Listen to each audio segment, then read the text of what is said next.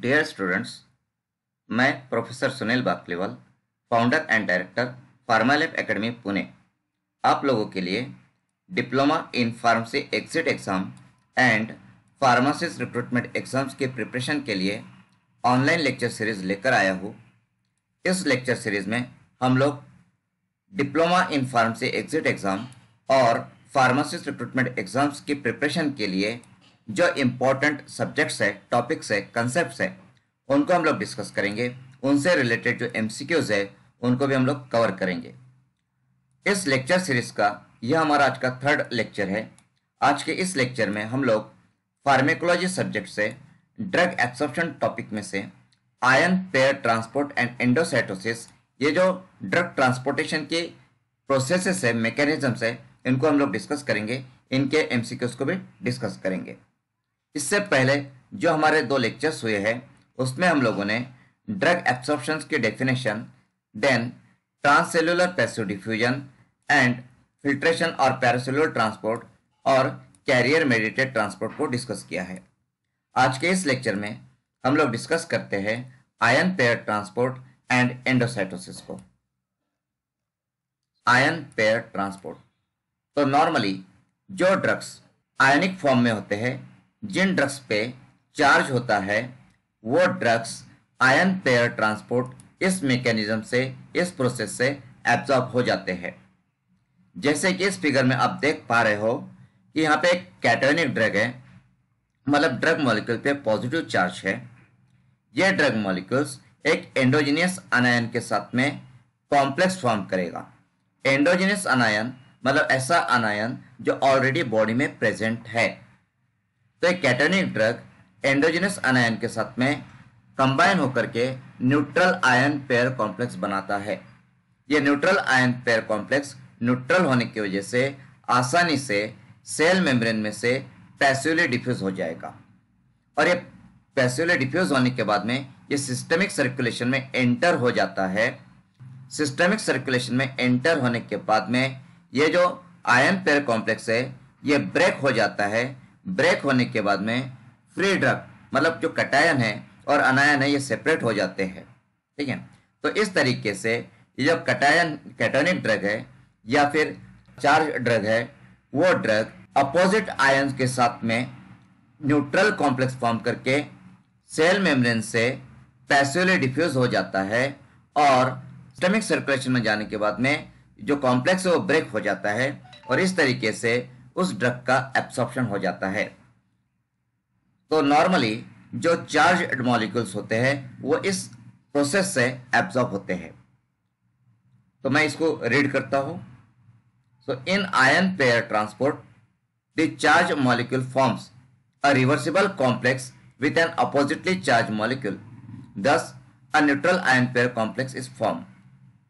This neutral ion pair complex has sufficient lipophilicity as well as aqueous solubility and pass through the membrane by passive diffusion. After absorption, the complex dissociates releasing the charged molecules. This absorption mechanism is observed in substances which are highly ionized and maintain their charge at all physiologic pH values. Quaternary ammonium compounds, sulfonic acid, quinine, propranolol, etc. Are absorb by this mechanism तो जैसा कि हमने discuss किया है कि जो charge molecules होते हैं, ठीक है? तो जनरली चार्ज मॉलिक्यूल्स इस इस रूट से या इस प्रोसेस से, इस मैकेनिज्म से एब्जॉर्ब होते हैं। और इसके एग्जांपल्स है quaternary ammonium compounds sulphonic acid quinine जो कि एक एंटी मलेरियल ड्रग है प्रोप्रेनोलॉल जो कि बीटा ब्लॉकर है। तो ये जो ड्रग्स है, ये आयन पेयर ट्रांसपोर्ट इस मैकेनिज्म से एब्सॉर्ब होते हैं। तब, ये जो कंसेप्ट हमने देखी है अभी आयन पेयर ट्रांसपोर्ट की तो इससे रिलेटेड एमसीक्यू हम देख लेते हैं। तो यहाँ पे एक एमसीक्यू है। Substances which are highly ionized and maintain their charge at all physiologic pH values are absorbed by which mechanism? तो जैसे हमने अभी डिस्कस किया है कि जितने भी चार्ज ड्रग्स होते हैं आयोनाइज ड्रग मॉलिक्यूल्स होते हैं, वो जनरली आयन पेयर ट्रांसपोर्ट से एब्जॉर्ब होते हैं।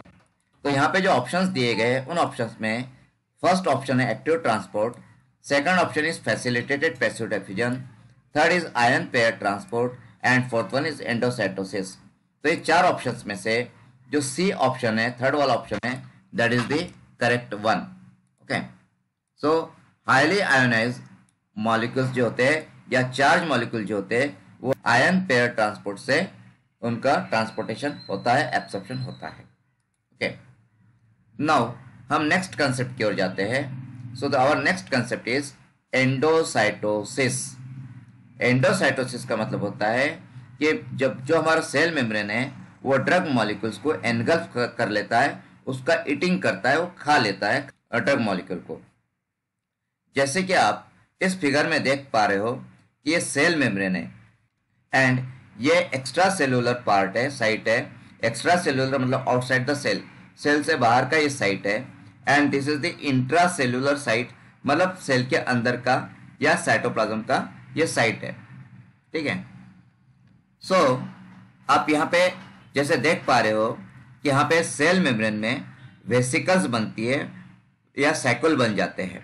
मतलब जो सेल मेम्ब्रेन है इस सेल मेम्ब्रेन में एबिलिटी होती है वेसिकल्स फॉर्म करने की साइकिल फॉर्म करने की।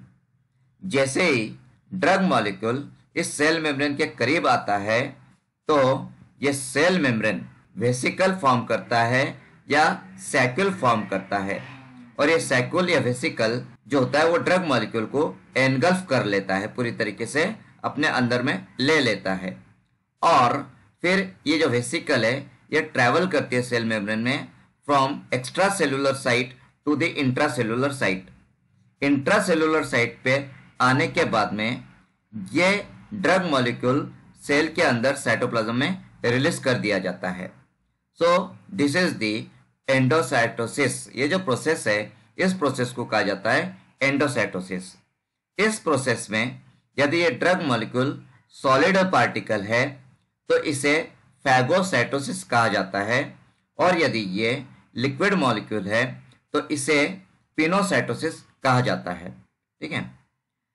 तो चलिए हम इसको रीड करते हैं। Endocytosis is a cellular process in which substances are brought into the cell the lipid bilayer of the cell membrane has ability to form saccule और vesicle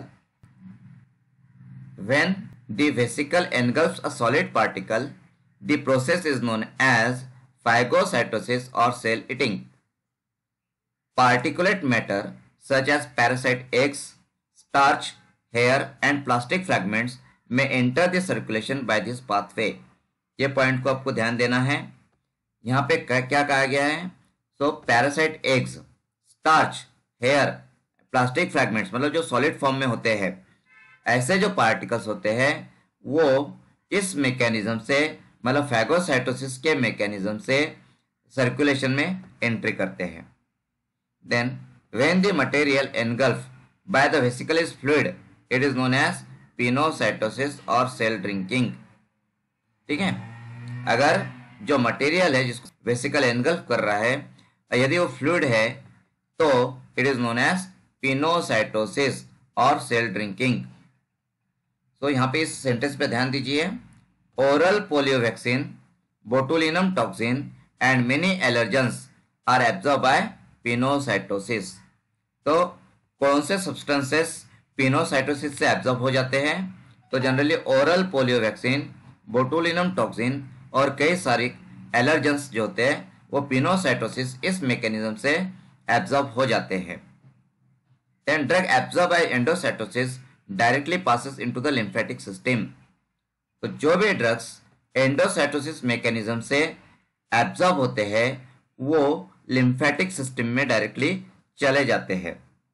मतलब यदि आपको लिम्फेटिक सिस्टम को टारगेट करना हो तो आप एंडोसाइटोसिस इस प्रोसेस को यूज़ कर सकते हो, इसका एप्लीकेशन कर सकते हो।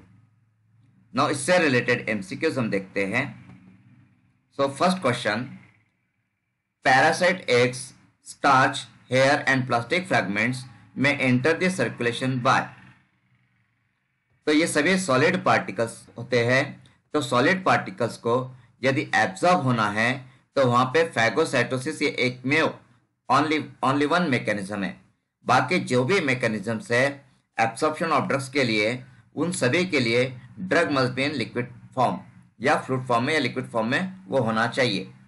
तो यहाँ पे parasite eggs, starch, hair, plastic fragments के एब्सॉर्प्शन के लिए जो मोस्ट सुटेबल मैकेनिज्म है that is the phagocytosis so इस क्वेश्चन का आंसर है option D that is phagocytosis okay then next हम जाते हैं नेक्स्ट एमसीक्यू की तरफ़.